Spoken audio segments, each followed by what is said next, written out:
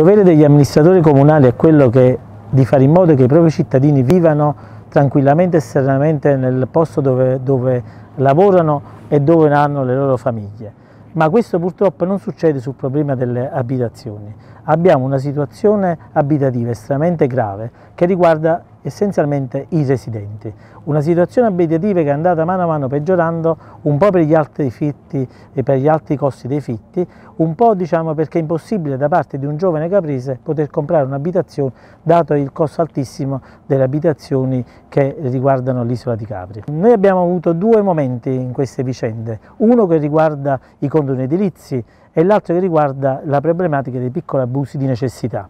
effettuati da tanti, da tanti capresi. A monte di tutti questi ragionamenti vi sono queste leggi di blocco che in realtà hanno fatto in modo che Capri eh, fosse diciamo, dichiarata zona inedificabile. Eh, questo ha comportato che eh, in realtà diciamo, quelle piccole cose che si potevano ottenere prima dell'entrata del piano paesistico col piano regolatore del 1974 non si possono ottenere più, cioè quel piccolo 20% di aumento per quanto l'abitazione dei residenti. Cosa è successo in questi anni? È successo che in realtà diciamo, ci sono stati molti condoni edilizi che ancora devono essere espletati, ma la cosa ancora più drammatica è che dopo i condoni edilizi il cittadino purtroppo ha dovuto, diciamo, eh, è stato costretto per vivere in questo territorio e non lasciare Capri andare a vivere a Sorrento in altri posti, fare dei piccolissimi abusi di necessità. Voglio chiarire bene il principio che io sono assolutamente contrario contro l'abusivismo edilizio, ma sono contrario assolutamente contro l'abusivismo edilizio, quello che in realtà è di tipo speculativo. Ma quando noi ci troviamo di fronte a dei piccoli abusi di cittadini residenti, non possono essere considerati speculativi, ma devono essere considerati di necessità. Quindi hanno una valenza di tipo pubblico, perché un cittadino è costretto diciamo, pur di vivere, in realtà a diciamo, fare dei piccoli sotterfugi. E ripetiamo, si tratta di piccolissimi abusi di necessità. Cosa è successo? Noi abbiamo cercato nelle passate amministrazioni, nel 2012 in particolare, in avanti di fare delle delibere di consiglio comunale che mettesse ordine un po' alla materia e desse la possibilità che diciamo, anche la questione degli abbattimenti potesse diciamo, portarsi a conclusione le procedure di abbattimento di questi piccoli immobili residenti solo alla fine delle, diciamo, dei vari ricorsi diciamo, amministrativi, TAR, Consiglio di Stato, eccetera.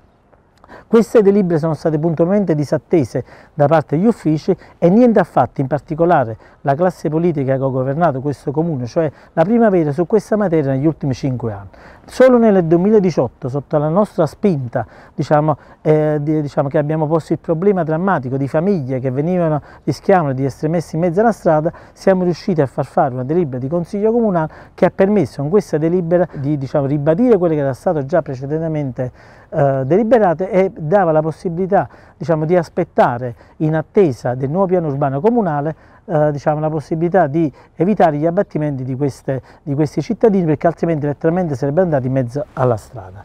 Uh, anche questo è stato disatteso, gli uffici in questo diciamo, periodo sono andati avanti lo stesso per, loro, per, loro, diciamo, per le loro strade, non hanno assolutamente considerato quello che il Consiglio Comunale aveva deciso con gli atti di indirizzo e questo dimostra ancora una volta la debolezza dell'amministrazione della, diciamo, della primavera su questa materia. Uh, piano urbano comunale dovrebbe essere il nuovo piano regolatore, fermo restando che poi diciamo, a valle bisogna affrontare il problema del piano paesistico dell'isola di Capri che coinvolge i due comuni perché in realtà c'è questo diciamo, assurdo blocco della possibilità di costruire anche delle piccolissime cose o di adeguare le strutture diciamo, commerciali. Ma quando si parla negli ultimi tempi di abuso diciamo, di eh, piano urbano comunale, in realtà non, non, non, si vuole conoscere, non si vuole dire che il nuovo piano urbano comunale impostato già da me nel, 1900, nel 2012, in realtà per cinque anni è stato in un cassetto fermo e solo negli ultimi mesi del 2018 è stato diciamo, posto attenzione proprio perché scadevano i termini per l'approvazione dello stesso per l'approvazione dello stesso e quindi niente anche su questa materia è stato fatto. Io ho, ho fatto una delibera di consiglio comunale che dava la possibilità ai cittadini capresi che hanno un'abitazione sopra i 75 metri quadrati di poterla dividere sotto questo metraggio e di, darle, di poterle dare una parte ai propri figli. Questa delibera diciamo, è stata anch'essa, diciamo, non è stata portata avanti e questo potrebbe essere uno degli strumenti che potrebbe dare la possibilità ai cittadini capresi di poter vivere su questo territorio.